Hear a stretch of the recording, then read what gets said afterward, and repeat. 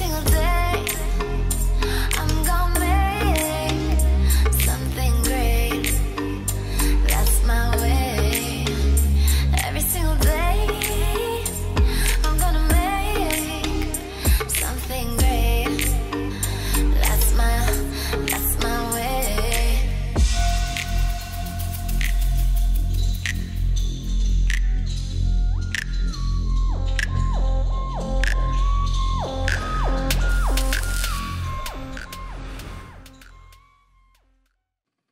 Hey guys, Tony Soy Sauce Assassin. Welcome to today's video.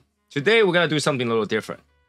I have a friend that asked me a lot of random questions, and because he is not a like um experienced cigar smoker, he have a lot of those I would say entry level, but not really entry level questions that I can answer all the time.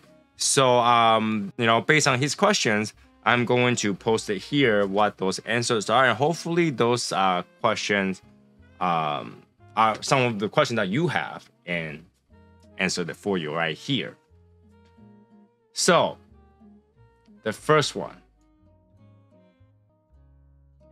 So in regards to why do people smell the cigar before they light it up or review it? Now I can only tell you from my personal experience is that you know when I smell the cigar, I kind of get a nuance, like an expectation what the cigar is gonna be. So you know I can kind of tell what the flavor and sometimes strength of the cigar from smelling it. Because if something cigar is very strong, very peppery, you get it in your nose right away. Now another thing that I wanted to do it because uh, is really for checking the cigar, make sure it's not bad.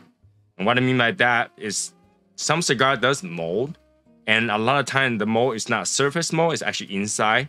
So when you smell it, it smells really funky when you do this and that, even though you smell a little bit mold into your body, you know the cigar is bad and you do not want to light that up. So that's like a check and make sure your cigar is good before you smoke it. And this is why we smell it and we give the notes um, but that's really just make sure the cigar is good. Why do people lick and suck on the cap before they cut it? Now, some people's gotta tell you is because you want to moisten the cap so it's not crunchy to cut it. And and there's some truth to that, right? But for me, what I realize is that a lot of time when the ambient uh, is kind of dry and all that stuff, if you don't do that, the the, the glue that they use to the the tree sap glue that they use to glue the cap might be dried up and might not be holding the cap down. So when you cut it, sometimes you'll crack the side of the cap because the the glue is not holding it. It fall off, like you know, you, you can actually lift off an entire ring because of that. Uh, the the glue is dried or wasn't moist enough for you to cut. Now it's also obviously puts a little bit, makes it a little bit more sponge for you cutting it.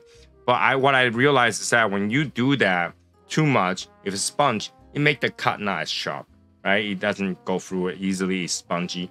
So it's just you just want to make sure to do the surface and mostly at the end of the cap, the sides, not the top, but the sides, so that the glue kind of get re moisturized, so it holds the cigar. That's all. That's that's really why.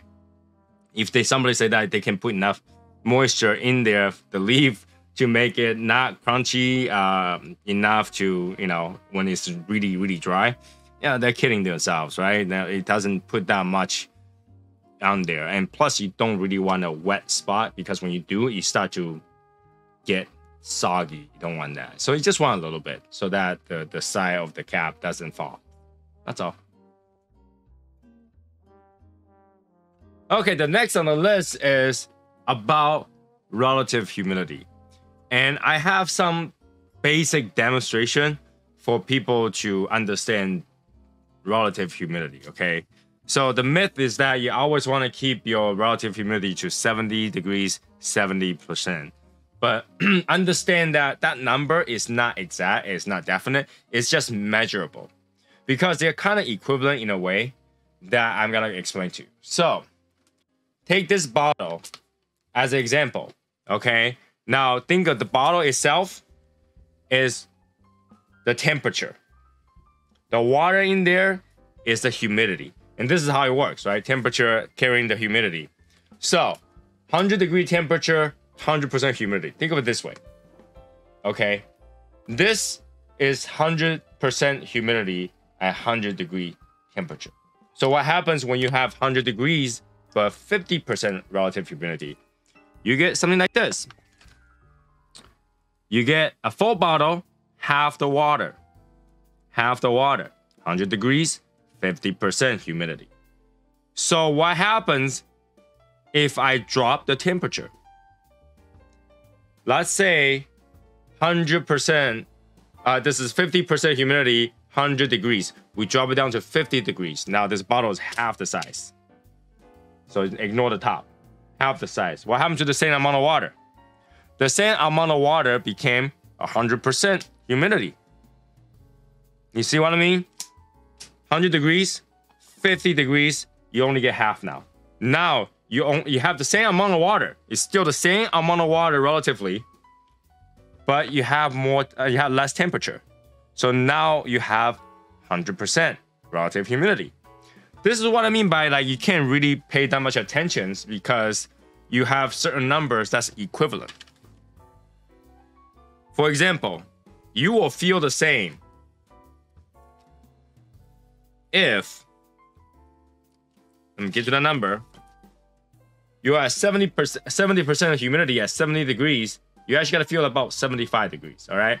You will be the same thing as if you are 71 degrees at 60% humidity. Or if you are 72 degrees at 50% humidity. It's all the same. It's like 6550 is the same thing as 6470.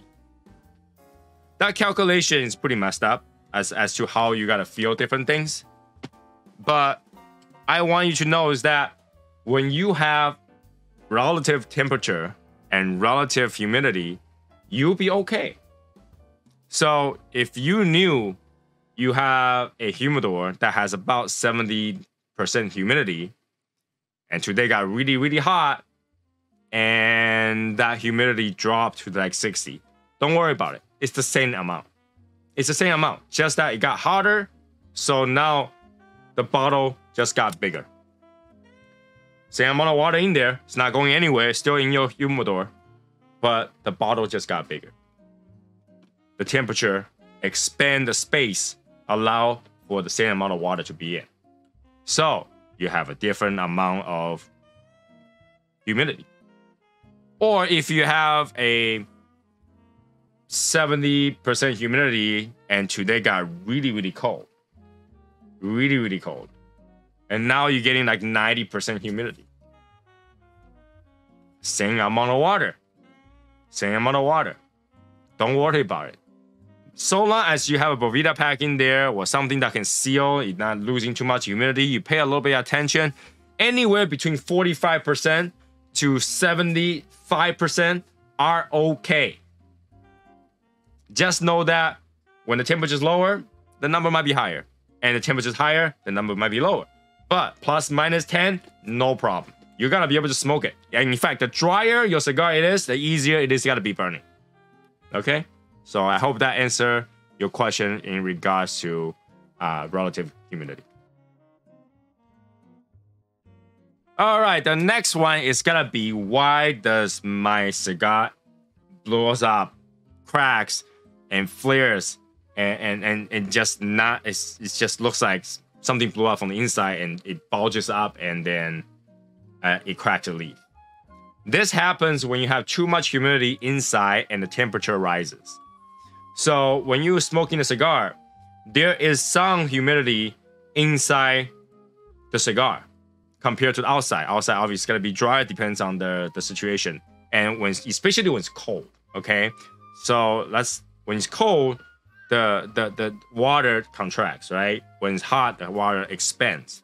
So when you're smoking the cigar, you're drawing hot air through your cigar. Once you draw the hot air through the cigar, you're heating up all those moisture inside your tobacco. That makes the tobacco expand from the inside, and that pushes the cigar out because the outside still got to be colder than the inside because um, you're drawing hot air through, not over, right? You're gonna have that expansion. This is one of those things that you know when you know your cigar is kind of spongy, it's kind of wet.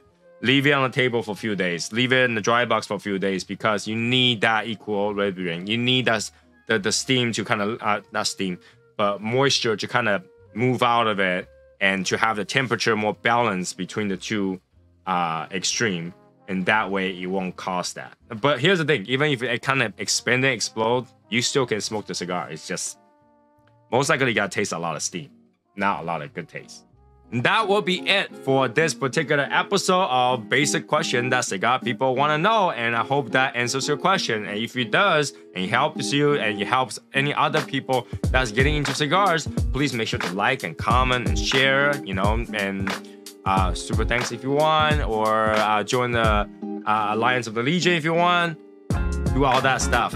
But likes are free. So uh, I hope you guys do that, and I hope you guys subscribe.